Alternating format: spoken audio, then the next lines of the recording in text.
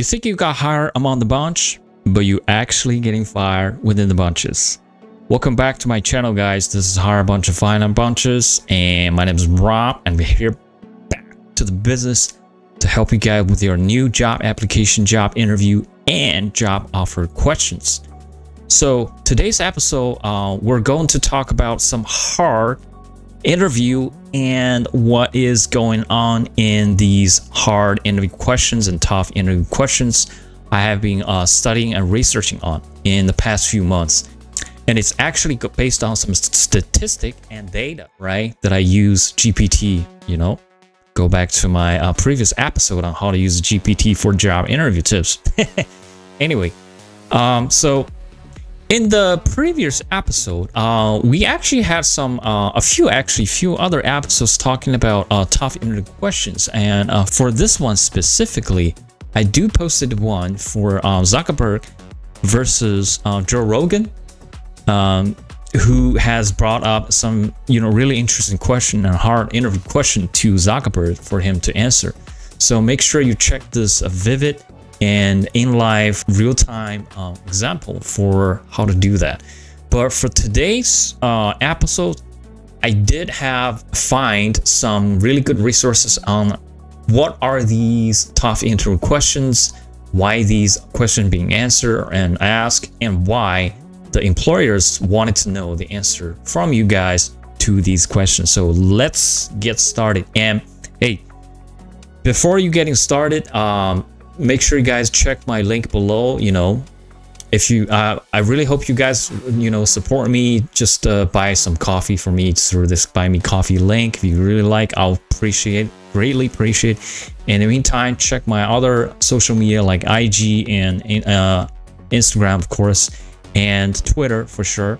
And also i got some other good goody goody goodies in my Linktree link below. So check those as well. And without any ado, uh, let's do that. So I found this Insight Global blogs. Uh, this guy Patrick Blind was talking about what are these uh, tough interview questions and the types. So he basically had seven different types, right? And uh, we have three of them. Um, these are behavioral questions, situational questions, and of course, uh, motivational questions, right? These are probably be three of the most common ones, and of course, three of the most toughest one during the interview. So let's go to the first one, behavioral questions. So I I can see that. So okay, the first one, behavioral question. Uh, according to Insight Global, these questions are looking for how candidates have handled real life situation in the past and focusing on their reactions, actions, and of course, outcomes um, that they can use to predict the future behavior of this um, candidate, right? That's behavioral question. And the next one is situational interview questions. This type assesses how the uh, candidates might handle hypothetical or um, you know case by case situations relevant to the job, of course. And this question also tests the candidate's problem solving uh, and also critical thinking skills. Now, the last one, but not the, the ultimate one, is the motivational question. Um, this question focuses on understanding a candidate's underlying motivations for applying for the current job and also previous job, how, how that worked out, and how their goals align with the hiring team. So they, they wanted to see how your passion, where your target lie on, and if they are matched with the uh, with the current company. Some sounds fair, right? Of course. So um, so in the meantime, you know, we're, we're done with the resource here, but in the meantime, you know, if you guys are interested more details, you guys can go back to my previous uh, playlist that I have created my project interview, 100 interview questions and answer.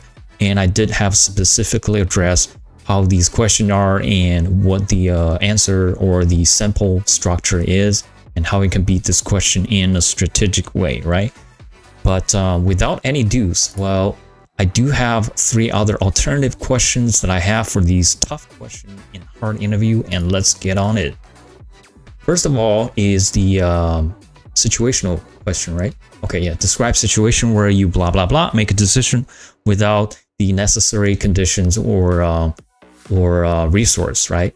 And the answer is very typical structure. Uh, give it an example first. In my previous role, I did this. Uh, it's a very tough situation, but my team and I, or the team that I lead, opted out for a phased project launch in a smaller market to mitigate risk. Very good. And the outcome is I lead to a successful broader launch and demonstrating the, the effectiveness and of course the quick decision making under uncertainty. All right. And the second question will be um, behavioral questions. And the sample is tell us about a time, right? very common starting, very common starting. To challenge directive or decision made by the management. Of course, they these employers always wanted to create chaos between you and the potential manager. And how did you handle the situation? Blah, blah, blah. And the simple answer is this. Faced with a management decision that is not really ethically and uh, correct and ethically wrong, slash, I prepare for a presentation highlighting what is going on and what is wrong and propose a solution. Tips right here. You always create a solution before you start questioning anyone in public. Okay? After discussion, oh, I'm sorry, after discussion with the senior management, things going out and everybody revised their strategy and we leave happy ending. So that's how you do these questions. Number three is a motivational question. Imagine you are leading a team, a project that is significantly behind the schedule. Always these questions. Make sure you prepare. And upper management demands the results. So nobody nobody wants to wait but you and how are you gonna do it? So the answer is this.